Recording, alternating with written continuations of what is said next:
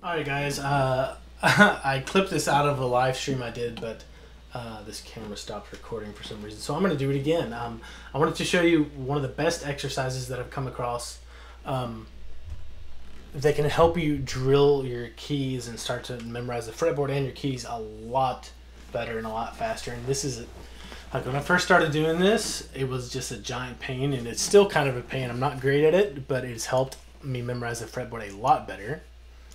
And uh, the first place I heard of this, I'm just pulling up um, uh, the PDF of all of the major keys that I have for you. I'll leave a link to this. It's a great kind of aid in going through this. The first time I heard of this, um, I had been doing a little, uh, like a simpler variation on this. Uh, it's a lot easier than I wanted to show you.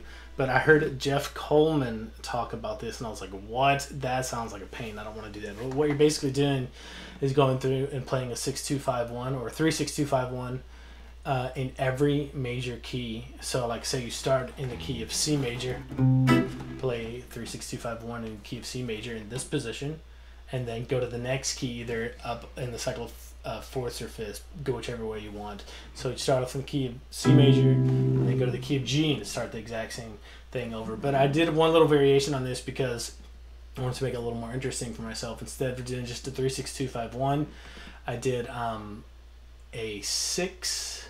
Start on the one, and then go to six three four one two five one. Six three four one two five one because it's the chords uh, for the Jack- Jackson Five tune. I want you back. So I, I thought that was fun. and I really like that song. I like that chord progression. So basically, started C major. Started C major just because it's a nice neutral starting point, right? Pretty easy. One, six, three, E minor, four, F major seven, one, C major seven, then two, D minor seven, five, G seven,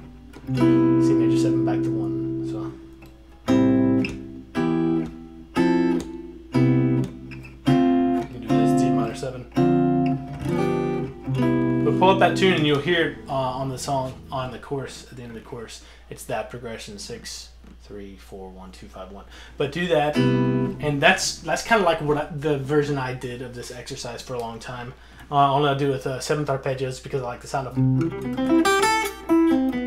So there's the one, three, sorry, six, then three,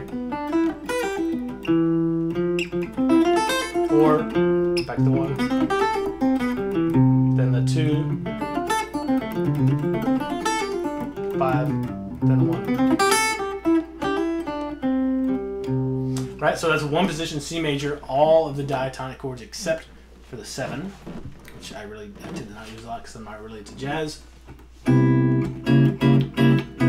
And then what I would do, or what I started to do, was like go to the next position for C and do the same thing. So one, six, three, four, back to the one, two, five, G seven, back to C major seven, right? So just doing the same chord progression up in the next chordal position for C major. Then go to the next chord position for C major, which would be right here. And do the exact same thing, go through that chord progression starting there, then do it starting here too. So all the way up the neck. And that's really like caged shape driven while drilling your keys at the same time. Now the variation on this that I heard Jeff Kollman say that he did was he would do like a three six two five one and whatever key he started in, C major, and then so for example, this chord progression.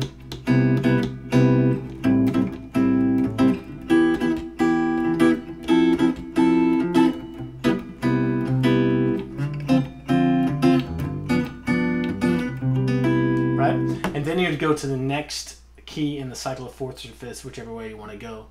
In this case, let's go up uh, a fifth to the key of G major, one sharp, right? So start there on the G major, seven, or just G major if you want to, and go through that exact same progression in the key of G major. So what's the sixth chord in the key of G major? It's a, it's E minor. Then what's the three chord? It's a B minor. C major seven is a four chord. G major seven, back to the one, two, A minor seven, five, D seven. And you can do that with arpeggios too. It's great for like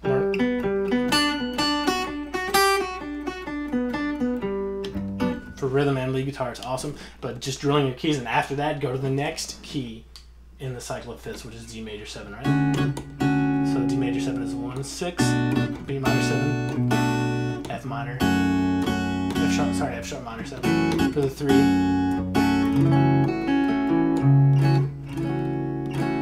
Then for the major 7, uh, sorry, the major 4 chord, G major.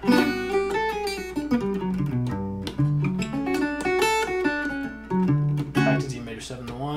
Then the 2 is an E minor, then A7 to D. And then just keep doing the same thing, go to the next key in the cycle like this, which would be an A, and do the same thing.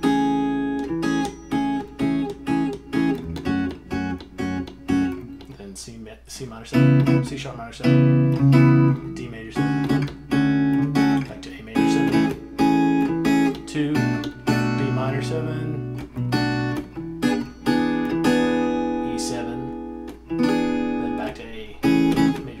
Keep doing the same thing for every uh, key, major key. Go through all the cycles. You can start at the bottom, you know, of your cycle of fifths and go all the way through them, or work backwards, whichever way you want with the fourth. It's good to mix it up. But like if I did that on Monday in this position, starting with C, I would use the next day as my starting point is this C and do the same thing. Go through all the major keys using that chord progression. Um, again, I have uh, this PDF for you, and it is tough at first. Let me tell you, but I feel like I since I've been doing this, I'm know the guitar uh, fretboard a lot better, and uh, I know my major keys a lot better. So it's really worth digging into.